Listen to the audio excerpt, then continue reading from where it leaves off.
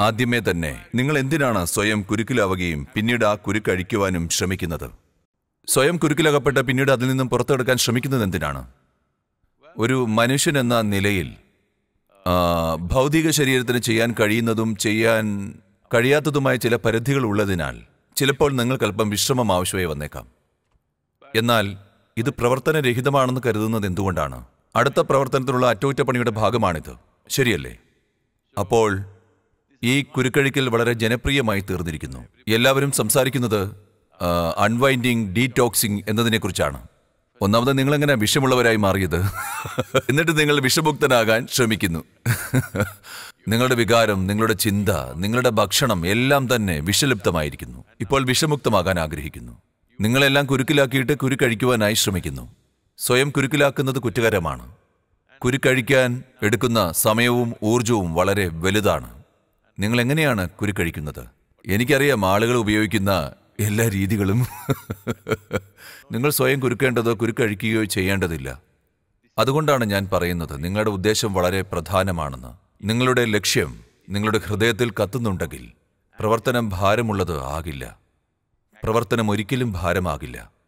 പ്രവർത്തനത്തിന്റെ സന്തോഷം നിങ്ങൾ അറിയും. കാരണം അത് ഭാരമുള്ളത് അല്ല.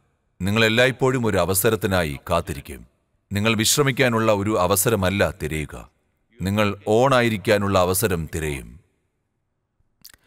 ഞാൻ ഓൺ എന്ന വാക്ക് ഉപയോഗിക്കുമ്പോൾ ഇത് മനസ്സിലാക്കണം. നിങ്ങൾ ജീവിച്ചിരിക്കുന്നു. അതിനർത്ഥം നിങ്ങൾ ഓണാണ്. നിങ്ങൾ ഓഫാണെന്ന് പറഞ്ഞാൽ നിങ്ങൾക്ക് എന്താണെന്നറിയാം. വേണ്ട വേണ്ട. അത് ഉടനെ സംഭവിക്കാൻ നമ്മൾ ആഗ്രഹിക്കുന്നില്ല. അതിനാൽ ജീവിതം എപ്പോഴും ഓണായിരിക്കാൻ വേണ്ടിയാണ്. ഓഫാകാനായി ഒരു സമയം വരും. വീണ്ടും സ്വിച്ച് ഓൺ ചെയ്യാൻ കഴിയില്ല. തീർന്നിരിക്കും. അത് ഓൺ ആയിരിക്കുമ്പോൾ ഓഫ് ആകുന്നതിനെക്കുറിച്ച് ഒരിക്കലും ചിന്തിക്കരുത്. അതെപ്പോഴും ഓണായി തന്നെ ഇരിക്കണം.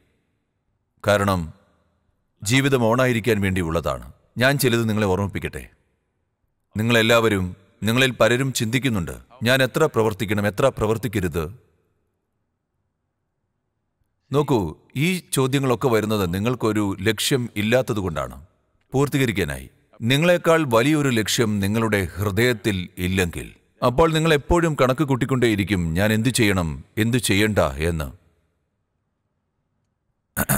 കന്നഡയിൽ ഒരു ചൊല്ലുണ്ട്.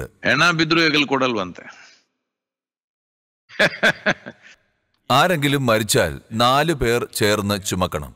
അതിൽ മൂന്ന് പേർ ഭാരമെടുക്കുകയും അതിലൊരാൾ ഭാരമെടുക്കുന്നതായി നടിക്കുകയും ചെയ്യുന്നു. ശരിയല്ലേ? അവൻ ശരിക്കും തോളിൽ ഭാരമെടുക്കുന്നില്ല. അതിനാൽ ഞാൻ മിടുക്കനാണെന്ന് അവൻ കരുതുന്നു. ഇല്ല അവൻ മിടുക്കനല്ല അവൻ ശരിക്കും വിഡ്ഢിയാണ്. ജീവിതത്തിന്റെ അനുഭവം അവൻ നഷ്ടപ്പെടുത്തുകയാണ്. അതിനാൽ ഓണാണ് ഓഫാണ് എന്നൊരു സംഗതിയില്ലെങ്കിൽ നിങ്ങൾ എപ്പോഴും ഓണാണ്. നിങ്ങൾ ക്ഷീണിതനാണെങ്കിൽ എന്തായാലും താഴെ വീഴും പിന്നെ എണീക്കുകയും ചെയ്യും. ഊർജം വീണ്ടെടുത്ത്. ശരിയല്ലേ? അതിനാൽ ഈ കുരുക്കഴിക്കൽ പദ്ധതികളെല്ലാം ആസൂത്രണം ചെയ്യരുത്. നിങ്ങൾ തളർന്നിരിക്കുമ്പോൾ നിങ്ങൾ മരിച്ചു വീഴും. ശേഷം നിങ്ങൾ വീണ്ടും ഉണരും. ഓക്കെ. അങ്ങനെയായിരിക്കണം ജീവിതം.